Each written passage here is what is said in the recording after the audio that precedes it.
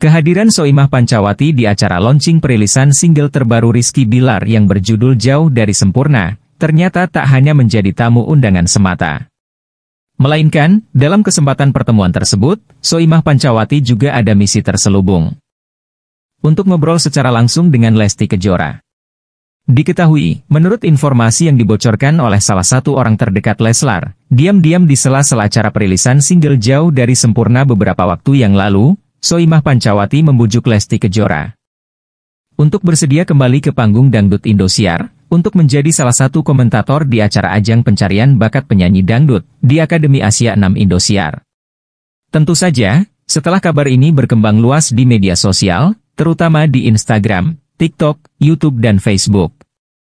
Banyak para warganet yang begitu penasaran dengan jawaban Lesti Kejora, usai Soimah Pancawati mengajaknya untuk kembali bergabung di panggung Dangdut Indosiar. Lantas, bagaimanakah jawaban Lesti? Simak video ini sampai selesai.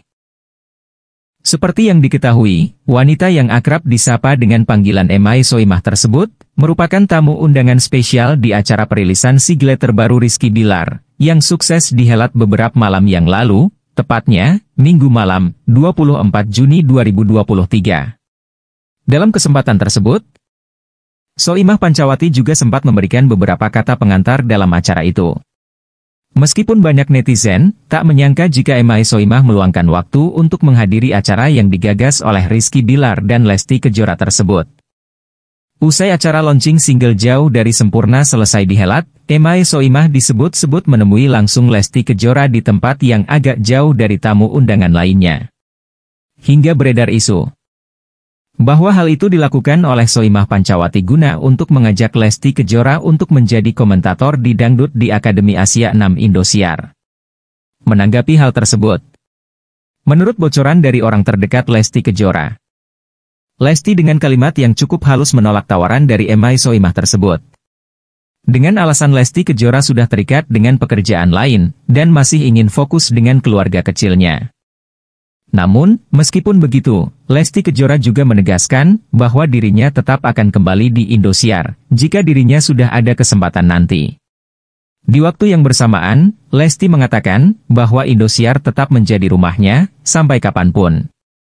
Lesti juga menambahkan, bagaimanapun, Indosiar tetap akan menjadi bagian dari hidupnya, yang telah membesarkan namanya sampai saat ini.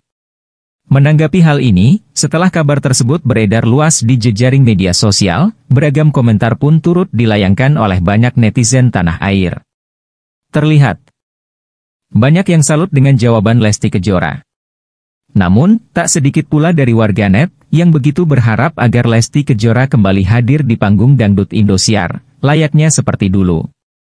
Selain dari itu, Harsiwi Ahmad selaku SCM Indosiar juga sudah mengatakan, bahwa Indosiar siap menerima Lesti Kejora sampai kapan pun, untuk hadir dan tampil di atas panggung stasiun televisi Indosiar.